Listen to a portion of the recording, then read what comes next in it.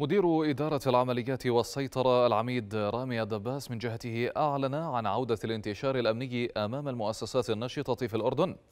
وقال الدباس إن إعادة الانتشار الأمني سيبدأ اعتبارا من يوم غد وسيتم تطبيق أمر الدفاع رقم 11 بعد الساعات المعلن عنها ومراقبة كافة المطاعم من حيث التزامها بشروط السلامة العامة.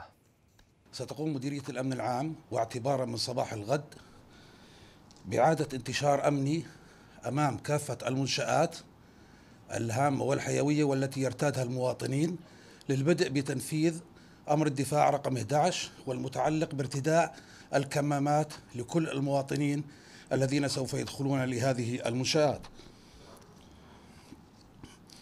أيضا هنا أود أن أؤكد على موضوع متابعة حظر التجوال التي أعلن عنها معالي وزير الصناعة والتجارة حيث ستقوم مديرية الأمن العام بإعادة انتشار أمني وتطبيق أمر الدفاع الخاص بالمخالفين لحظر التجوال بعد الساعات المعلن عنها.